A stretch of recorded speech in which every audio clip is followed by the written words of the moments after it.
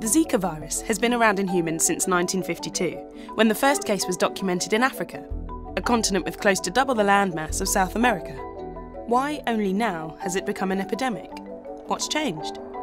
The virus may have changed, but there's no doubt that we have. We now travel more, live closer together, and our planet's climate has become warmer and wetter. Born in shallow pools of water, the Aedes aegypti mosquito is a carrier of the Zika virus, and others such as yellow fever and dengue. Unlike us, it only travels an average of 400 metres from where it's born. A female mosquito's top priority is to lay eggs, and to do so, she must feed. And so she goes hunting, biting, in an attempt to find a rich source of nutrition blood.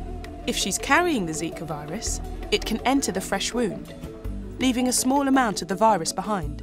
The virus can now multiply, often unnoticed, triggering a relatively minor fever and rash in around a fifth of those infected. And when an uninfected mosquito bites an infected person, the virus can be passed along again, continuing the cycle. Largely oblivious to the infection, we carry on, living, working, and travelling. As a consequence, Zika has hopped the globe from Africa through several countries and smaller islands until it reached South America. Here, the huge landmass and dense populations now exposed to Aedes aegypti means that infection can spread. And because most of us have never been exposed to the virus, our immune systems are unable to fight back.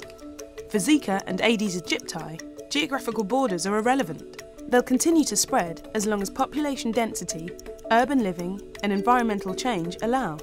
Unless we do something. So, what do we do?